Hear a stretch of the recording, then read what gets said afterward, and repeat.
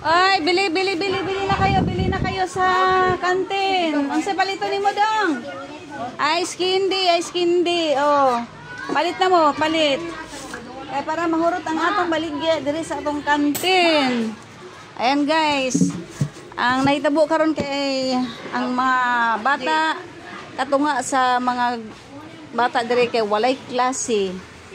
So ang mga grade 3, grade 2, grade 1 nagmeeting ang mga teachers so walay estudyante.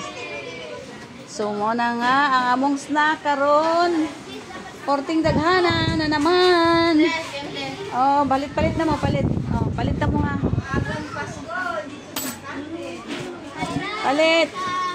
Bili na kayo, bili, bili, bili na kayo sa kantin. Si hi, si hi. Ayan. Oh, i i-follow niyo ako para makita ninyo ang inyong mga naong dito sa akong Facebook. Thank you for watching.